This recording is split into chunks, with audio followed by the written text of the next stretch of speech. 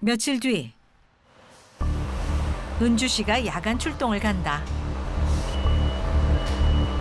따라간 중에 안, 걸, 안 걸리면은 아 걸렸다 걸렸어요? 예 어디예요? 전도? 강서라고 하더라고요 화재 사고가 난 곳은 다름 아닌 영재 씨가 소속된 소방서의 관할 구역이란다. 불이 좀 크게 났으니 까 저희 북부소방서에서도 차들이 다 나가고 있는 거예요. 지원이 아니라 저희들도 화재 출동이에요. 다른 소방서 관내로 출동하는 경우는 드물지 않다. 신고가 많이 의하면 고속도로 밑에 있습니다. 고속도로 밑. 현장 문이고 델타지에서 다시 재차 유인하겠어요.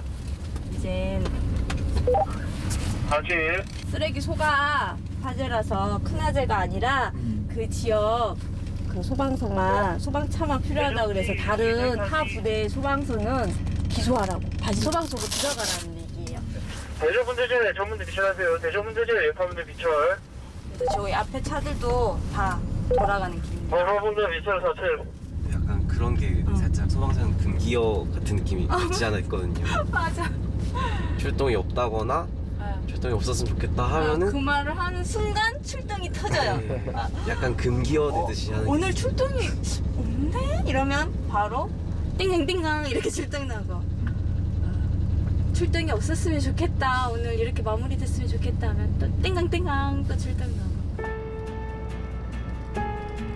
언제나 삼가는 마음으로 일에 임한다. 곧바로 차를 돌려오긴 했지만 출동 자체가 주는 부담감이 적지 않다. 그래도 큰 화재가 아니라니 마음을 놓는다. 이제 한숨 돌릴 수 있게 됐는데 7시 59분 30분에 어, 저희 애기들 밥 먹는 거 확인하려고 전화하려고 했는데 출동 다녀왔어요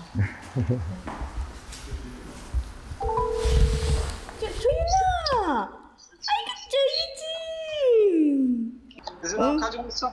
어, 유진이가 전화 받아. 오빠 유진이 모욕 시- 오늘 시켜 시켜 할 건데.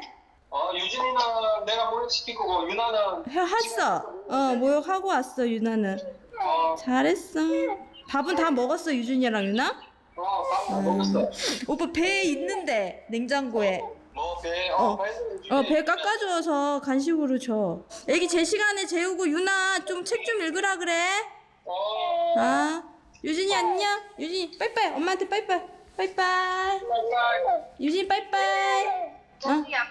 제가 이제 그 시간대 전화가 온다는 걸 아니까 밥을 배불리 먹여놓고 기분 좋은 상태에서 이제 딱 제 영상 통화를 잡거나 아니면 기분 좋을 때 저한테 영상 통화를 해서 아 지금 너무 잘 지내고 있으니까 걱정 말아라 이런 제스처를 취해주는 것 같아요. 한편으로 남편한테도 고맙고 애들한테도 고맙고. 그래서 제가 더 잘해야겠다. 든든한 응원 덕분에 또 힘을 낸다.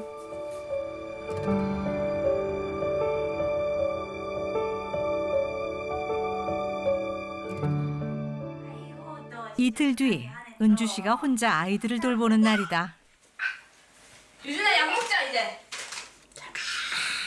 유준이 콧물 감기가 안 떨어져서 걱정이다. 맛있지? 혼자 두 아이를 감당하려면 각오를 단단히 해야 한다. 여기 양이 여기 하루 종일 양념 들고 먹는 거야 이제. 애들 보면서. 애들 보면서. 왜 이렇게 왜 이렇게 마- 많은 걸 드세요?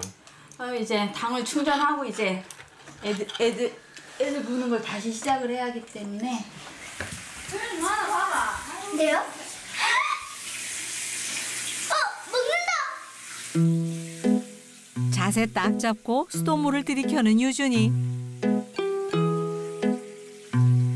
20여 개월 된 아이의 호기심을 어찌 말릴까. 조여자, 이리 와봐, 내 진짜 이 엄마 진짜 이거 왜다 이렇게 해놨어? 밥을. 닭을 먹었다고? 어, 봐봐. 아이 손 안 닿는데 둔다고 둬도 귀신같이 찾아내 일을 내곤 하는데 뭐지? 뭐지? 내가 아까 어, 집에서가 더 긴장의 끈을 못 놓치고 있는 것 같아요. 항상 이렇게 지켜봐야 하고 무슨 일이 있나 쳐다봐야 하고. 엄마의 젊음과 에너지를 먹고 자라는 게 아이들인가 보다.